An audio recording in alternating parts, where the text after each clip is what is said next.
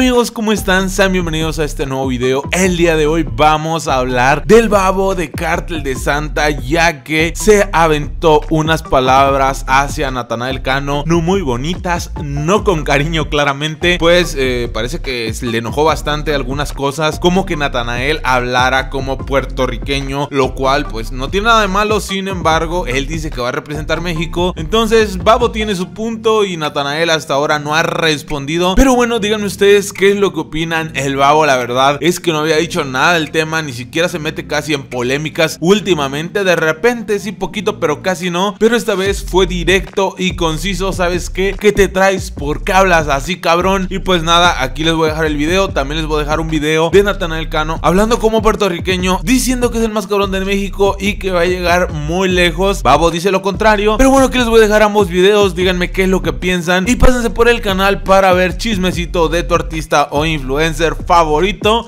Bueno, yo me despido. Bye. Cabrón, ¿cómo te atreves a decir que vas a representar a la bandera de México? Hablando así, puñetas, pues, ¿qué traes, güey? Ya no te metas tantas barras, compadre. Liviana la concha, güey. Así no vas a llegar lejos como tú presumes que vas a llegar. El público de México no es pendejo, compa.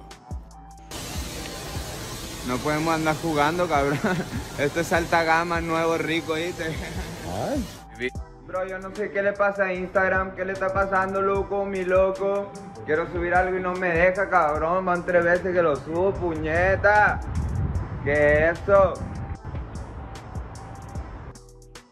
La baby, la baby es tímida, por eso no habla, ¿viste?